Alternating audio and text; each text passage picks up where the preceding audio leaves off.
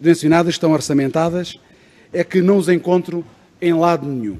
Ou vão para o rol do prometido e não cumprido, como o Hospital Central do Algarve, e com efeito, esta infraestrutura de saúde, essencial ao Algarve, foi prometida pelo PS na campanha 2015. Já passaram oito orçamentos eh, de Estado, respectivas grandes opções do plano. Também não consta no, no programa Portugal 2030 e a senhora, a senhora Ministra prometeu em janeiro de 2020, e passo aqui a citar, aqui no Algarve, onde há tantos uh, anos estava anunciada uma nova infraestrutura, temos em, em 2020 de planear, de modo a que em 2021 possamos começar a executá-la. Informou ainda que não estava a falar de obras, mas de estudos, garantias de investimento, de decisões sobre a carteira de serviços e o caderno de encargos. O que procuro esclarecer, Senhora Ministra, é qual o ponto da situação deste projeto é que este projeto do Hospital Central do Algarve não consta no plano de resiliência e uh, recuperação e resiliência. Muito obrigado.